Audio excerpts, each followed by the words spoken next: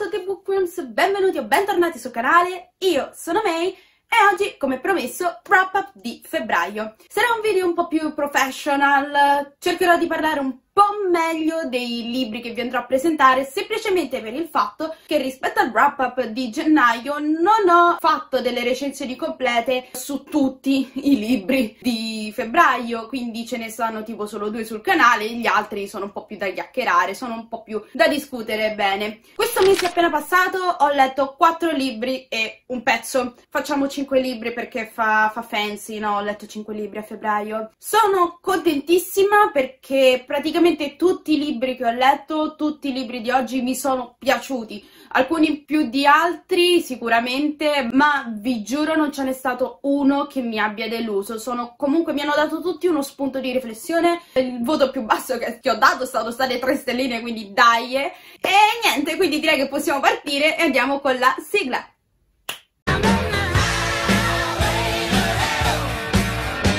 Deciso di andare in ordine cronologico, quindi vi parlerò dei libri che ho letto prima per poi andare a concludere con la lettura che ho concluso a, a fine febbraio, davvero, cioè due giorni dalla fine del mese. Però prima credo che sia meglio discutere, anche se poi l'ho finito più avanti nel mese, di Caliban e la strega, che eh, se avete visto il wrap up di gennaio è proprio il famoso libro che vi portava avanti da mese scorso, due mesi fa, insomma. Caliban e la strega di Silvio Federici è un saggio io sono particolarmente contenta di essere riuscita a leggerlo perché io con i saggi ho un rapporto molto difficile perché il mio cervello pensa sempre che siano roba da studiare. Quindi se io non prendo appunti, cosa che con Caliban e la serie che ho fatto, non riesco a godermi un saggio. E per me prendere appunti significa mettermi là con gli evidenziatori e fare schemi. Quindi è stato un casino, ci ho messo un botto a leggerlo, però alla fine l'ho finito e sono davvero super contenta perché è un saggio di quelli che non mi sarei mai aspettata di incontrare sul mio cammino.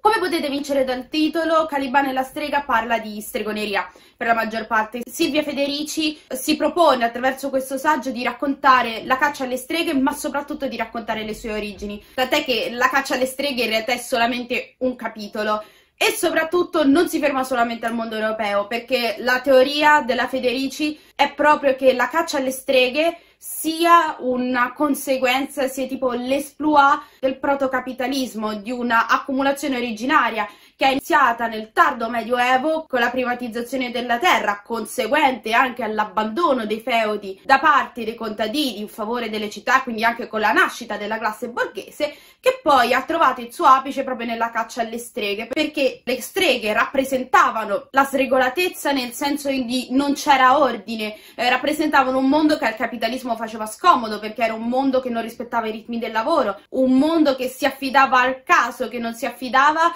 alla materia e quindi al corpo, che permetteva al corpo di essere svincolato dalla sua funzione di produzione al lavoro e soprattutto le streghe rappresentavano quelle donne che non si conformavano all'idea del genere che fa comodo al capitalismo. Di conseguenza era meglio eliminare tutte quelle donne che non facevano sesso per procreare, perché semplicemente era quello il senso, e che quindi vivevano la propria libertà, vivevano la propria sessualità e la propria indipendenza al di fuori degli schemi dell'accumulazione originaria.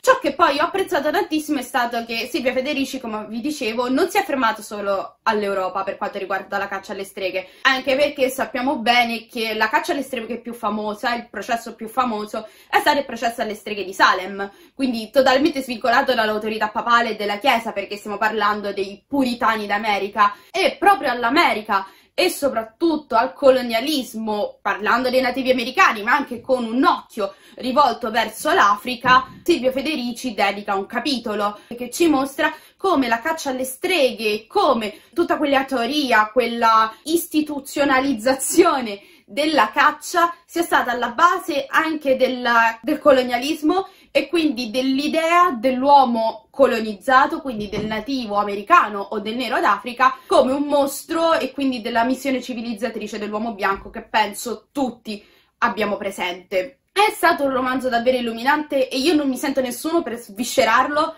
e per raccontarvelo in sostanzialmente un piccolo slot di un video tantomeno mi sento qualcuno di abbastanza competente per andarvela a raccontare. Per questo vi rimando alla live su Twitch di Lenia Zodiaco perché, come vi dicevo nel wrap up di gennaio, io ho letto questo libro grazie al GDL Letture Stregate di Ilenia e sicuramente lei l'ha sviscerato meglio di me in un'ora a disposizione, sicuramente lei ha le competenze maggiori per comprendere un saggio di questo genere, però questo saggio è stato per me uno spunto di riflessione, soprattutto uno spunto di studio e sicuramente lo rileggerò magari più avanti, magari con più attenzione, quindi soffermandomi su quei dettagli che mi sono sfuggiti e chissà, magari un giorno ve ne parlerò anch'io completamente, ma è un saggio che comunque non è pesante, è molto ripetitivo, è vero, ma ripetere le cose aiuta a far affondare il concetto. Quindi non c'è bisogno magari di tornare indietro, cioè c'è un'enorme bibliografia, ma quella bibliografia, per esempio, secondo me è più adatta ad un approccio successivo.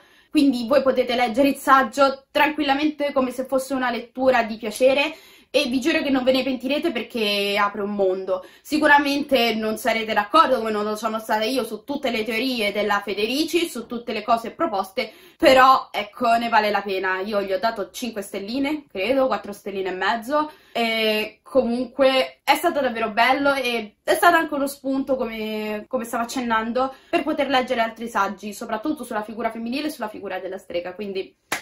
adorato, adorato tantissimo. Introduciamo quindi le letture proprie del mese di febbraio e la prima, eh, se mi seguite da almeno un mese, la conoscete bene perché è This Violent Delights di Chloe Gong, un retelling della storia di Romeo e Giulietta ambientato nella Shanghai degli anni 20 con un twist fantasy. Vi rimando alla recensione completa nelle schede, qua su in alto, però eh, mi tengo un piccolo spazio per raccontarvi appunto di questo romanzo che per me è stata una rivelazione. A gennaio io lessi La stirpe della gru e La stirpe della gru mi ha buttato in un reading slump assurdo, tant'è che io cercavo una lettura che mi potesse sbloccare, una lettura di piacere, cercavo il bookish boyfriend per uh, un qualcosa di abbastanza leggero e quindi ho detto vabbè Martì, hai This Violent Delights, non lo leggerei mai se continui così perché questo libro ce l'ho tipo in libreria da dicembre e non mi attizzava particolarmente. E quindi mi sono detta prendi questo, vedi com'è, soprattutto perché ne avevo sentito parlare molto bene ultimamente, erano uscite un paio di recensioni e contro ogni aspettativa mi sono trovata davanti a un romanzo non solo molto bello ma anche molto approfondito. Perché? Perché noi ci troviamo in un mondo in cui non sono i nobili i nostri protagonisti, bensì i gangster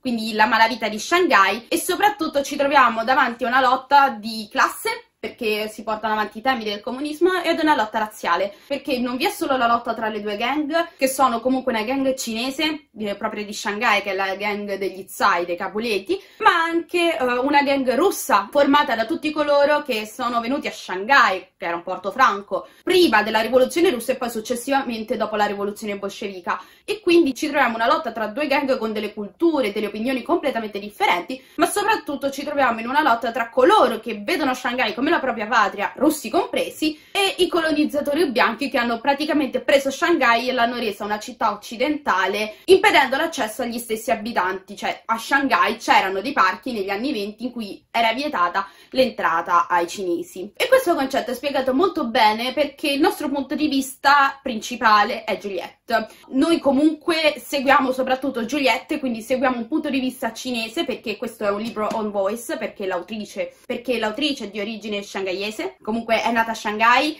e uh, seppur non parlando benissimo la lingua come lei stessa afferma, ha comunque conservato dei legami con la sua terra madre. E quindi il punto di vista di Juliette, che è anche il punto di vista di Chloe Gong, ci aiuta ad inserirci in questo mondo fatto di ingiustizie e fatto anche di terrore, perché appunto il Twist Fantasy è un mostro che sta terrorizzando la città dalle profondità del Huangpu River, che è il fiume che attraversa Shanghai. E Juliette è stato poi un personaggio sorpresa perché scordatevi la Juliette, che comunque è un bellissimo personaggio anche nell'opera di Shakespeare, però non fa moltissimo. Lei fa il ruolo della donna nobile nobile, anzi della ragazza nobile che aspetta il matrimonio e il suo atto di ribellione è proprio cercare di scappare con uh, Romeo. Mentre invece in questo romanzo Juliette agisce, Juliette ha un botto di armi addosso, Juliette uccide, Juliette prende l'iniziativa, anzi, cioè prende più iniziativa lei di Roma, io ho detto tutto,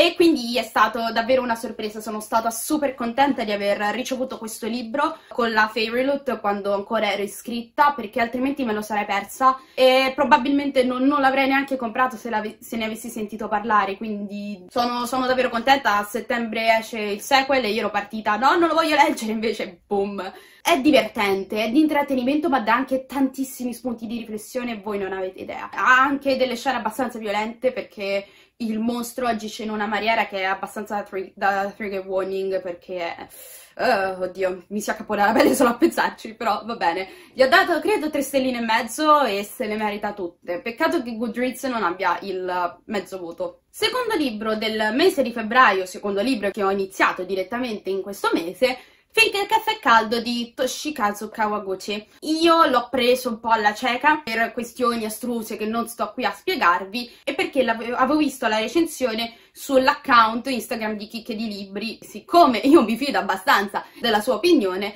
ho detto perché no, ci proviamo, soprattutto poi è un libro minuscolo, si legge in pochissimo. Finché il caffè caldo potremmo inserirlo nella categoria del realismo magico, cioè non è fantasy perché è ambientata in Giappone, tranquillamente, però comunque ha un twist magico perché parla di questo caffè, di questo bar in cui è possibile viaggiare dietro nel tempo per una sola volta, ci sono un botto di regole, ma soprattutto la più importante è che si vuole restare nel passato finché il caffè è caldo, altrimenti si rischia un destino abbastanza crudele e non si può neanche cambiare il presente. Però ovviamente questo non blocca certe azioni e io non vi posso raccontare appieno come questi viaggi nel tempo poi influiscono nella storia perché ovviamente si perderebbe il senso e sarebbe uno spoiler enorme. Però è stato davvero un libro sorprendente. Io e la letteratura giapponese non ci amiamo, cioè nel senso io ho provato con Norwegian Wood di Haruki Murakami e non mi è piaciuto e sapendo che quello è tipo il romanzo più occidentale occidentale di Murakami, io ho detto, vabbè,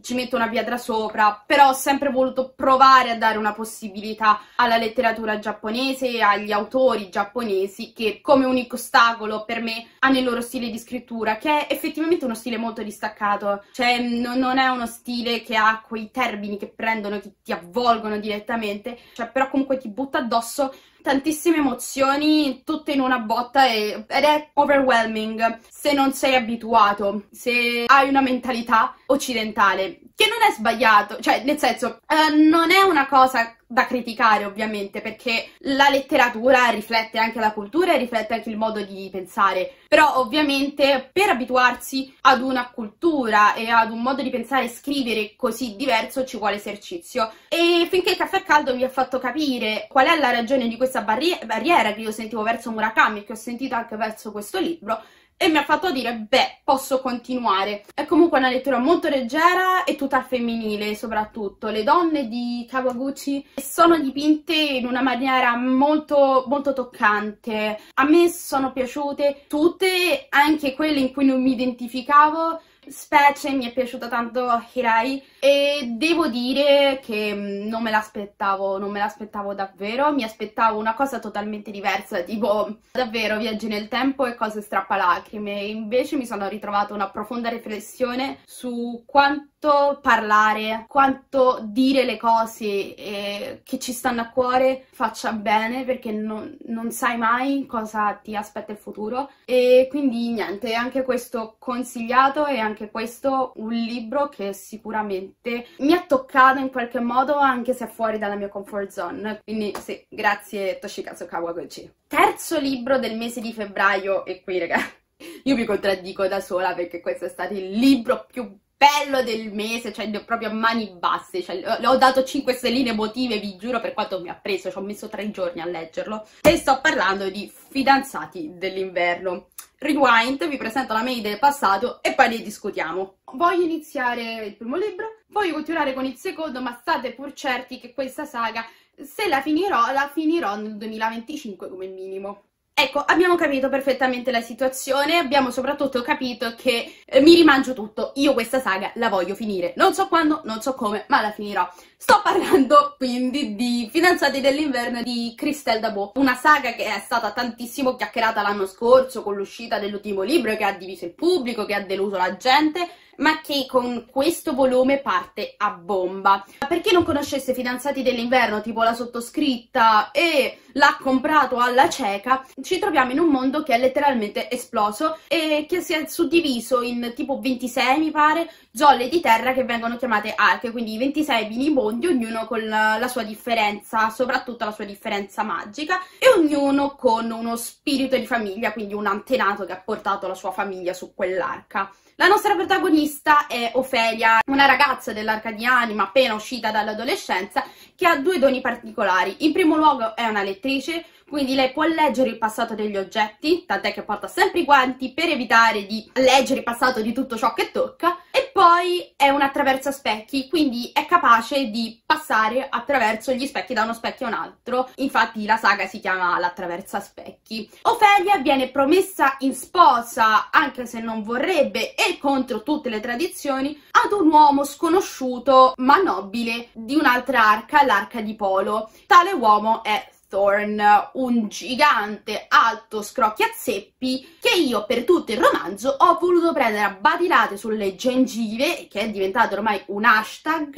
perché tratta Ofelia a carpe in faccia. Però Ofelia se lo deve sposare e siccome lui c'ha un sacco da fare sull'arca dove vive, Ofelia va con lui accompagnata dalla, dalla zia che fa da chaperon fino al matrimonio. Perché infatti il mondo che viene presentato dalla Dabo è un mondo fortemente maschilista. In realtà, cioè, Fidanzati dell'inverno è un po' la fiera dei cliché. Abbiamo il mondo maschilista in cui le donne non contano un cavolo. Abbiamo la, la protagonista che è una Mary Sue ambulante, goffa, che spacca tutto quello che trova, che si mette nei guai. E abbiamo lui che è tormentato, però tu, cioè, di primo acchitto uno dice ma che cacchio sto leggendo però la Dabo fa un lavorone perché prende questi cliché e dà una spiegazione. Certo, eh, si poteva creare una società matriarcale? Sì, ci siamo ritrovati con la società patriarcale e maschilista, pace, però per esempio c'è una ragione dietro alla goffaggine di Ofelia e c'è una ragione dietro al muso perenne di Thorn, che non ci viene spiegata, perché la nostra protagonista, nonché punto di vista, è proprio Ofelia, che viene catapultata in quest'arca in mezzo a illusioni, cattiverie, intrighi politici e gente che la vuole morta per nessuna ragione, cosa che lei nella sua arca non aveva, perché lei è davvero la big big family, cioè tutta la famiglia allargata, tipo, you? Mentre su Polo ci sono diverse famiglie, ci sono scontri, la corte, chi sta più in alto, chi sta più in basso, e Ofelia quindi viene catapultata in questo mondo e se prova a dire io non ho capito una cosa, nessuno gli spiega mai un cazzo. Di conseguenza la cara Ofelia non è che ci può dare delle informazioni, perché lei stessa non le ha queste informazioni. E non è che Thorn Berenid o tutti gli altri personaggi di Polo le spieghino qualcosa a sta povera stella. Ovviamente questo è un enemies to lovers, più o meno, cioè presa alla lontana. Comunque i due non si sopportano, non si vogliono sposare e ovviamente è palese che questi due saranno la main ship. Ma in questo libro in loro due non c'è niente di shippabile. Cioè, Thorn non sopporta Ophelia e la tratta a pesci in faccia, come dicevo prima. Ophelia non sopporta Thorn, neanche a dire che c'è una tensione sessuale tra i due, cioè, ma anche no. E questo è bellissimo perché tu li, li shippi col seno di poi, ma non li shippi adesso. Ed è, cioè, non è che Ofelia fa la classica protagonista young adult che lui è cattivo ma ce ne innamoriamo lo stesso. Quindi, dai, abbiamo una relazione che se cresce, cresce con un criterio. Io non sono cavolo, detto questo, io conosco solo le fan art. Però in questo libro mi è piaciuto tantissimo, soprattutto perché non me l'aspettavo. Cioè, io in realtà questo libro l'ho preso in scambio, quindi non, non mi aspettavo niente, me l'avevano offerto, ho detto vabbè e sono andata che non sapevo niente di niente, ma di niente, cioè davvero conoscevo solo le fan art. E l'ho letto in tre giorni, quindi che vedevo dice, io sono innamorata, eppure io so che soffrirò col finale di Eke in Tempesta, io non, non posso non amare questo libro e non posso non amare Ofelia, perché Ofelia è una tenerona e bisogna proteggerla, povera stellina, cioè mi fa tanta tenerezza, cioè, ogni tanto è insopportabile ma mi fa tanta tenerezza e soprattutto è anche da identificarsi lei, è anche da capire perché, cioè, mettetevi nei suoi panni, cosa avreste fatto? Io, per esempio, avrei fatto le stesse cose perché mi sarei spaventata tantissimo, quindi non, non mi sento di biasimarla. E mi sento super vecchia perché io due anni fa l'avrei presa badilata in faccia peggio di torno, però va bene. Ultimo libro che ho finito letteralmente il 26 febbraio, venerdì 26 febbraio, This Gli occhi del re di Giulia Norkis. C'è la recensione sul canale, è uscita proprio sabato, fresca fresca, però come ho fatto per This Violent Delights, ve ne parlo, ve ne accenno. Questo libro mi è stato gentilmente inviato dall'autrice in cambio di una recensione e si tratta di un fantasy di ispirazione storica che copre la crescita del personaggio principale, tale Aigas, che non è il tizio che vedete in copertina, e che appunto parla della crescita di questo personaggio dalla sua infanzia abbastanza turbolenta perché dopo aver assistito all'assassinio della madre viene disonorato, viene ripudiato dal re suo padre e inviato nell'Ergeseneo, eh, che è un altro di questi regni che prendono ispirazione dall'antica Grecia, dove viene cresciuto e allevato per essere il primo guerriero di, del principe Salai, con il quale instaura una profonda amicizia, un senso di fratellanza, sono fratelli scelti loro due, e mm, poi crescendo dovrà affrontare assieme a Salai il pericolo di una guerra con il regno Igdar, che è un regno di barbari che si trova a nord delle montagne. Barbari che si sono riuniti da anni sotto il vessillo di questo re dagli occhi verdi sconosciuto che porta sempre una maschera e che quindi stanno diventando sempre più potenti e minacciano di attaccare tutti i piccoli regni del, del nostro mondo mezzo greco. Come vi ho detto nella recensione, questo libro ha i suoi pro e i suoi contro, ma a me è piaciuto. Cioè, mi ha rovinato un po' l'esperienza di lettura il fatto che fosse scritto in prima persona, però ecco, sono anche gusti. È un libro molto, molto dettagliato, va a raccontare molte cose della vita di Aigas e soprattutto i personaggi personaggi, Agas soprattutto, cioè gli altri noi non ne sappiamo tantissimo, fanno un'evoluzione davvero profonda e cambiano da così a così, che è una cosa che ho profondamente apprezzato, soprattutto perché ci presentano un personaggio che è Morally Gray, che non si fa scrupoli a fare quello che fa, pur se poi ci resta male, per proteggere le persone che ama e che quindi mette in dubbio la sua stessa moralità. Come vi ho mostrato appunto nel, nella recensione, vi sto invitando a vederla, non so se si fosse capito. È anche un libro illustrato perché l'autrice ha messo alcune delle sue illustrazioni, sono almeno una decina, che sono bellissime, a me sono piaciute tantissimo e quindi niente, lo trovate su Amazon se avete intenzione di acquistarlo. Io vi ho dato tre stelline, però mm, secondo me molti di voi potrebbero apprezzarlo perché davvero fatto, cioè comunque ha fatto con criterio, anche se è autopubblicato, quindi comunque ci sono solo gli sforzi dell'autrice dietro questo romanzo. È il primo volume di una saga, gli altri non so quando usciranno, però insomma ve lo consiglio, comunque io vi lascio il link qua sotto. Bene Bookworms, il video di oggi finisce qui, io vi ringrazio di essere stati qui con me, vi lascio qua sotto il link all'acquisto di tutti i libri in italiano, tranne per This Violent Delights, se vi interessa la lingua originale dell'Attraverso Specchi è il francese, quindi se qualcuno di voi legge il francese, conosce il francese, vuole fare un po' di pratica, potete trovarlo tranquillamente in lingua originale, sicuramente sarebbe una bella esperienza. Fatemi sapere poi, già che ci siamo, se vi piacerebbe sentirmi parlare della mia esperienza con la lettura in lingua, degli alcuni consigli, insomma, se vi piacerebbe vedere l'argomento su questo canale, così almeno mi organizzo per scrivere una cosa sensata e un po' meno a braccio. E vi ricordo che nelle schede trovate il link alle recensioni, mentre qua sotto trovate il link a tutti i miei social, quindi Instagram, Goodreads, il mio blog e la mia mail se vogliamo rimanere in contatto. Se il video vi è piaciuto vi invito a lasciare un piccolo like per aiutarmi con l'algoritmo e se i miei contenuti vi piacciono vi invito anche ad iscrivervi al canale e ad attivare la campanella se non volete perdervi nessun nuovo video. Io vi saluto, vi auguro una buona settimana, un buon tutto, mercoledì, non mi ricordo quando uscirà questo video, però insomma vi mando un grande bacione e noi ci vediamo al prossimo video. Ciao!